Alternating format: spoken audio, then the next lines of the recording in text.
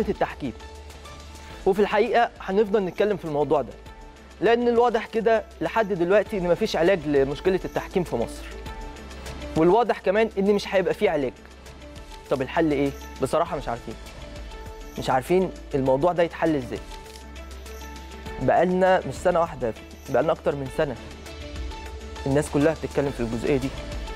إمتى يا جماعة يكون عندنا مستوى جيد للحكام؟ مش عايزين مستوى ممتاز يا سيدي باش مستوى ممتاز. عايزين مستوى جيد بس. لأن فعلا المستوى سيء جدا. ممكن تقول جدا جدا جدا لغاية الصبح زي ما انت عايز. أخطاء في منتهى السذاجة. أخطاء كارثية بتأثر على مختلف الفرق. بالتحديد على النادي الأهلي. آه بالتحديد على النادي الأهلي. وإحنا مش بنتكلم هنا على النادي الأهلي بس عشان إحنا في قناة الأهلي. لا إحنا بنتكلم بواقع ودلائل موجودة وبالفيديو وبالصور بكل حاجة. أخطاء رهيبة. الأهلي عانى منها على مدار بطولة الدوري وبطولة الكاس يعني الموسم الماضي. وفي الحقيقة النادي الأهلي طول عمره بيعاني من التحكيم يعني. طول عمره. وياما نادى بتطوير الحكام وياما نادى بالفار وياما خد وعود بتنفيذ أو تطبيق تقنية الفار ومفيش حاجة حصلت لحد اللحظة دي وإحنا مقبلين على الموسم الجديد. فبالتالي الأزمة دي مستمرة معانا. تمام؟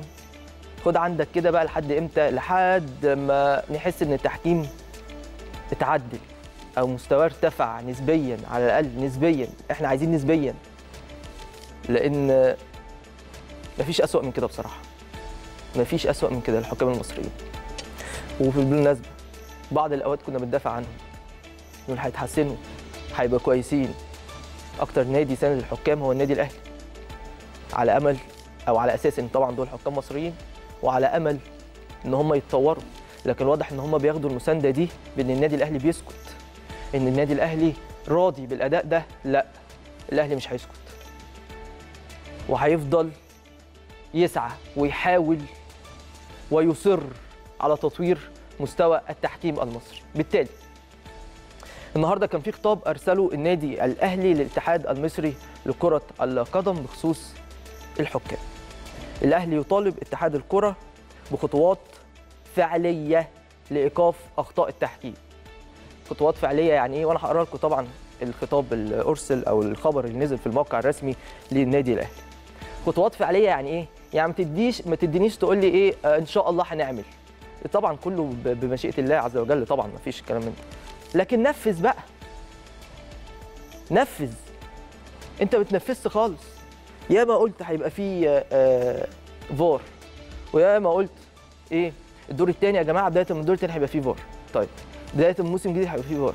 ولا ده ولا ده حصل ولا في أي حاجة خلينا نقرأ الخبر من على الموقع الرسمي للنادي الأهلي.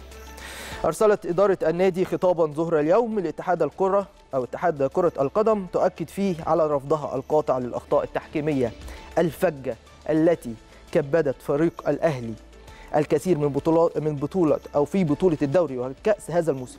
وأن النادي سبق وأن حذر في كتابات عديدة لاتحاد الكرة عن خطورة استمرار هذه الأخطاء التي تجاوزت نطاق التقديرية. وعرض في السابق الحل القاطع لإيقاف هذه الأخطاء بتطبيق تقنية الفار وتعهد اتحاد الكرة بتنفيذ هذا الحل مطلع يناير الماضي للحفاظ على الشفافية وتحقيق مبدأ تكافؤ الفرص بين كل الأندية. وأكد الأهلي في خطابه على أنه تحمل فوق الطاقة ونفذ صبره من جراء الضرر البالغ والواقع على فريق الكرة بسبب أخطاء التحكيم المؤثرة وسط عدم تفاعل من جانب اتحاد الكرة لوضع حد فاصل لهذا الأمر. وجاء في الخطاب أن النادي يتطلع لإعلان اتحاد الكرة عن خطوات حاسمة وفعلية من تدابير فنية وإدارية حرصا على نجاح المسابقة الكروية في الموسم الجديد. حرصا على نجاح المسابقة المسابقات الكروية في الموسم الجديد.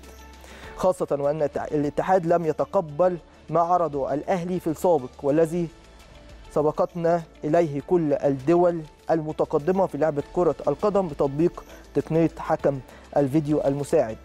ويدرس الأهلي حاليا ما لم يكن يتمناه وهو طلب استبعاد أمثال هؤلاء الحكام عن إدارة مبارياته في الفترة القادمة. تمام؟ ركزت في الخبر وكلام النادي الأهلي والخطاب اللي تم إرساله لاتحاد الكرة؟ هل الأهلي عنده حق؟ عنده كل الحق.